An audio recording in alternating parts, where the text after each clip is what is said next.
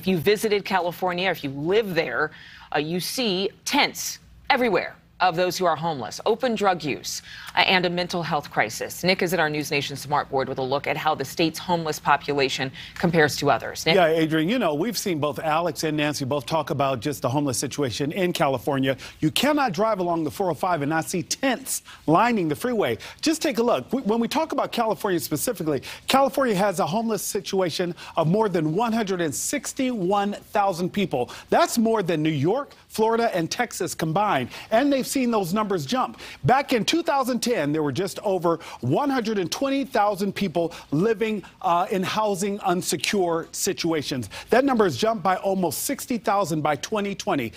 California has a housing problem. Voters responded yesterday at the polls. Adrienne? All right. Thank you for watching. Go to newsnationnow.com to find News Nation on your television provider. And don't forget to click the red subscribe button below to get more of News Nation's fact driven, unbiased coverage.